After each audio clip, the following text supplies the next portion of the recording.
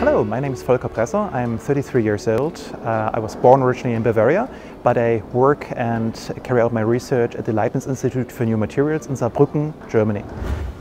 My research area are energy materials, and as a material scientist, I try to find new, more sustainable, more environmentally friendly and cost-efficient ways for energy storage, harvesting, and, you may or may not believe it, for treating water. Energy materials are at the core of our everyday life. Uh, you have to recharge your cell phone every evening. You basically run out of electricity in the most unfortunate situations when you want to watch TV or want to turn on your, um, your laptop, for example. But the problem is how can we find new, more sustainable and, well, more energy delivering materials? The impact, therefore, for many questions relating to politics, Energiewende, for example, is a big topic in Germany and throughout the globe, uh, is really holding us uh, scientists responsible for coming up with new solutions because the implications are from many levels, politics, everyday life, social aspects, and of course, technology. Thank you so much, Technology Review, for this prestigious award. Having all those big names on screen, I feel quite small right now. Um, and it's, it's quite, quite an honor being one of the first in the second year run, so to speak, of this prestigious award that in the United States I've lived and worked a couple of years there. Of course, everyone knows. Uh, in Germany, not yet, but hopefully soon everyone will know. The topic that I work at is related to energy. And energy is one of those topics which are inherently connected to terms like sustainability and cost. Well, every day we also suffer from the lack of energy storage ability by recharging our cell phones or cursing when our batteries just have died. Now, as a material scientist, we try, and I try in particular, to find new ways. And very often I have to start at the very basics, at the very fundamentals. And the very fundamentals, they really start on the atomic scale.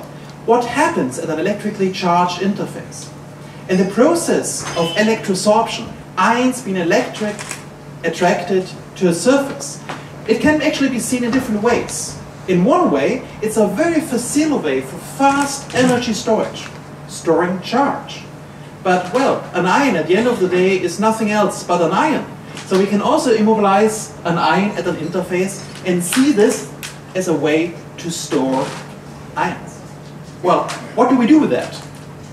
One way is to create the next generation of energy storage devices. Basically supercapacitors, you may have heard, even featured in the latest Baymax movie on the big screen. Now you have a smaller screen here. Um, but this is a technology for rapid energy storage, which is already used in your cell phone for the flash. It's already used in your hybrid car if you drive one in other vehicles. Now, the other technology that is a little bit younger than supercapacitors is capacitive deionization. So the same process of pinpointing an ion at an charged interface can be used as an extremely energy efficient way of making drinking water out of salt water. To make this dream come true, we need materials, not only understanding and concepts. To make this dream come true, we need materials. And uh, my students would complain that I could talk for hours about this. I'm not going to do that today. Uh, stick around for the reception, I'll be happy to do more of that uh, later on. But in a very general way, we can differentiate the research that I'm doing into capacitive and Faradaic materials. Capacitive materials, that's really just boring old carbon. High surface area activated carbon, you may know, is very nice, but it lacks the ability to tune the surface.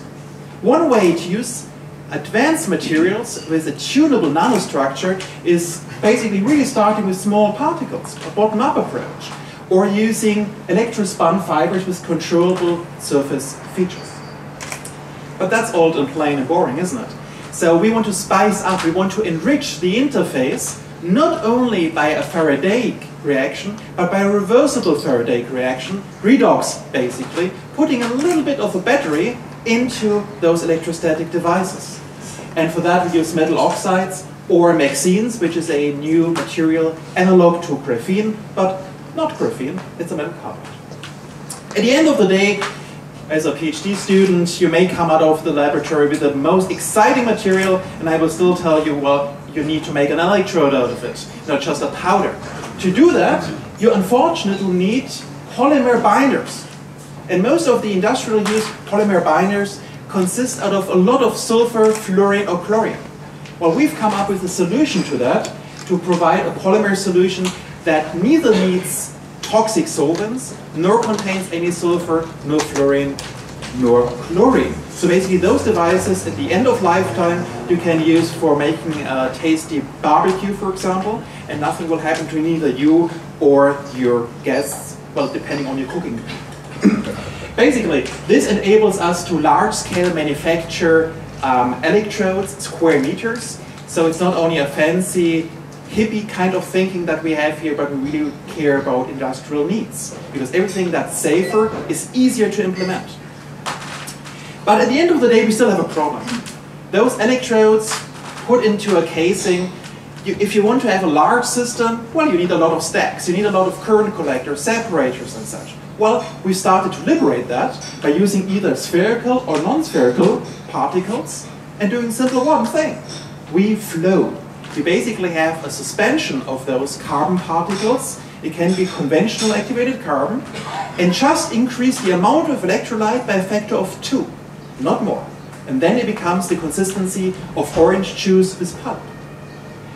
The nice thing with doing that is that at the end of the day, you can do whatever you thought about in terms of electrochemical applications, but in a much more cost-efficient way, in scalable fashion. Either be it for basically energy storage in your home basement, to capitalize the PV installations on a rooftop, to continuous operation of capacitive deionization, of making drinking water with twice the efficiency and capacity than current systems, or reverse the process. If you need to invest energy to change the concentration, you can get energy by having a prefix concentration change. In this way, we can tap into low chemical gradient energy very efficiently. Again, thank you so much uh, for bestowing this unique honor upon me and the other recipients. And thank you so much for hearing a little bit about the crazy ideas a material scientist from Saarbrücken has.